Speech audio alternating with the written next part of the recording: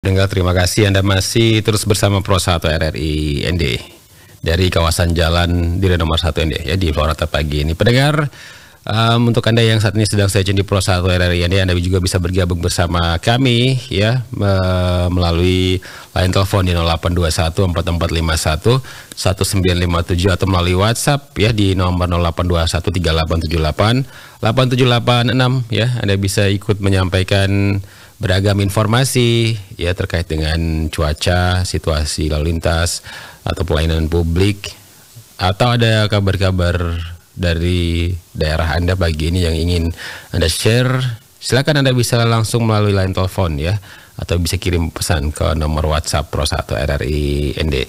Kami juga akan hadirkan informasi-informasi cuaca ya ke ruang dengar Anda, informasi cuaca maritim, kemudian juga informasi cuaca dari BMKG. Dan um, informasi pertama pendengar yang kami hadirkan ke ruang dengar Anda uh, terkait dengan informasi cuaca maritim ya untuk wilayah NTT. Kami sudah terhubung bersama dengan uh, dari Stasiun Maritim Tenau NTT, M. Caesar Agni Pratama. Info cuaca maritim. Halo, selamat pagi, Caesar. Selamat pagi, Kak. Iya, Caesar silakan bagaimana informasi perakiraan cuaca maritim untuk wilayah NTT hari ini? Baik, uh, selamat pagi untuk pendengar setia REND di mana pun berada. Di sini saya MC Sarne Pratama akan memberikan informasi terkait perakiraan cuaca maritim di wilayah Nusa Tenggara Timur yang berlaku untuk hari ini tanggal 4 Desember 2023 pukul 8 pagi hingga 8 malam nanti. Waspada potensi gelombang laut dan ketinggian 1,25 hingga 2 meter yang diprediksi akan terjadi di wilayah Samudra Hindia Selatan Sumba Sabu yang berisiko tinggi terhadap perahu nelayan dan kapal tongkang. Untuk kondisi cuaca umumnya cerah berawan hingga berawan dan diperkirakan akan terjadi hujan ringan di perairan Selat Alor Pantar, perairan selatan Kupang Rote dan diperkirakan terjadi hujan petir di daerah perairan utara Kupang Rote.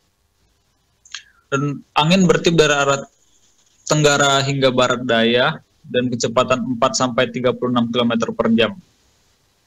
Uh, dihimbau kepada masyarakat agar selalu memperhatikan perakiraan cuaca maritim yang dikeluarkan oleh BMKG Stamar Tenau. Jika keadaan cuaca pada saat akan melaut dirasa kurang bersahabat, seperti angin kencang dan gelombang laut yang tinggi, diharapkan masyarakat maupun nelayan agar tidak melaut. Demikian informasi perakiraan cuaca maritim untuk pagi ini. Semoga bermanfaat. Salam sehat dan terima kasih. Oke, terima kasih informasinya. Ya, Sar, selamat pagi, selamat beraktivitas. Terima kasih kembali, Kak. Pendengar kami juga uh, akan hadirkan informasi cuaca bersama perakirawan uh, eh, BMKG ya dan Anda juga kami uh, undang ya ikut berpartisipasi menyampaikan bagaimana cuaca di uh, daerah Anda pagi ini. Apakah sedang hujan pagi ini atau cerah pagi ini? Ya silakan Anda juga bisa ikut menyampaikan melalui uh, line telepon ya di 0821 4451 1957 atau juga melalui WhatsApp uh, Pro 1 RI ND ya di 08213878 8786 ya. Anda bisa ketikkan pesan teks atau Anda bisa sampaikan dalam bentuk uh, pesan suara ya. Selain informasi-informasi terkait dengan cuaca, Anda juga bisa menyampaikan informasi-informasi lainnya ya yang ingin Anda share ya, ingin Anda bagikan bersama kami pagi ini pendengar. Setelah ini kami akan hadirkan informasi perakira, uh, perakiraan cuaca bersama perakirawan dari uh, Badan Meteorologi, Klimatologi, dan Geofisika Altari Kupang. Ya, tetap di Pro 1 RRND, kanal informasi dan inspirasi.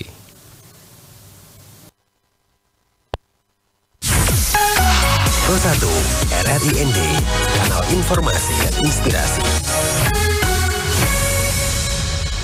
Ya, pendengar kami sudah terhubung bersama dengan perakirawan dari BMKG Eltari Kupang bersama Putu Noni. Kami hadirkan informasi cuaca ke ruang dengar Anda. Info cuaca BMKG.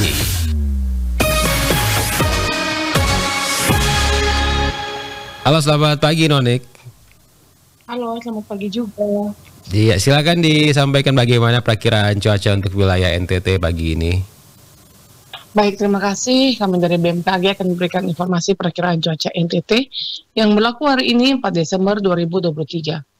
Di mana pada pagi hari diperkirakan cuacanya cerah berawan hingga berawan dan adanya potensi hujan ringan di wilayah Sumba Timur. Siang hingga sore hari diperkirakan cuacanya berawan hingga hujan ringan dan adanya potensi hujan sedang di wilayah Sumba Tengah, Sumba Barat, Sumba Barat Daya, Ngada, Nagakeo, dan adanya potensi hujan yang dapat disertai petir di wilayah Manggarai Barat dan juga Manggarai. Pada malam hari diperkirakan cuacanya cerah berawan hingga berawan, dan pada dini hari diperkirakan cuacanya cerah berawan hingga berawan, dan adanya potensi hujan ringan di wilayah ND. Dengan suhu udara di NTT berkisar antara 18 hingga 33 derajat Celcius, kecuali Manggarai, Ngada, dan wilayah dataran tinggi lainnya, yaitu 16 hingga 27 derajat Celcius. Dengan tingkat kelembapan 60 hingga 95 persen. Dan arah angin yang bergerak secara variabel dari timur laut hingga tenggara dan selatan hingga barat dengan kecepatan 10 hingga 20 km per jam. Kami dari BMKG juga mengeluarkan peringatan dini, yaitu perlu diwaspadai potensi atau petir dan juga angin kencang sesaat di wilayah Manggarai Barat, Manggarai, Ngada, Sumba Timur, Nagakeo, Sumba Barat, Sumba Tengah, dan juga Sumba Barat Daya. Dari perakiraan cuaca wilayah NTT kita beralih ke perakiraan cuaca Kabupaten ND. Di mana untuk Kabupaten ini sendiri pada pagi hari diperkirakan cuacanya berawan dan adanya potensi hujan ringan di Kecamatan ND Tengah, ND Timur dan juga ND Utara.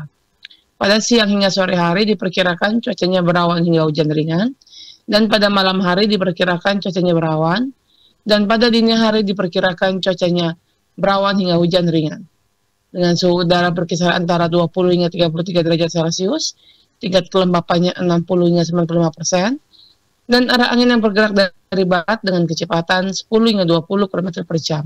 Demikian informasi yang dapat kami sampaikan, semoga bermanfaat. Ya, terima kasih informasinya. Nonek, selamat beraktivitas kembali. Selamat pagi. Selamat beraktivitas juga. Dengan demikian informasi perakiraan cuaca bersama perkirawan dari BMKG NTT Putu Nonik. Pro 1 RRI ND, kanal informasi dan inspirasi.